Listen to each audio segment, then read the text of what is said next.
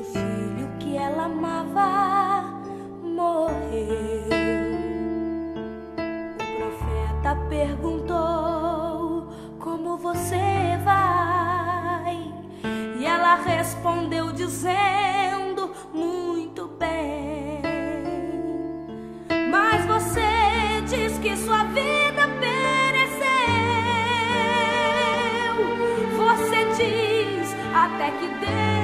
já te esqueceu.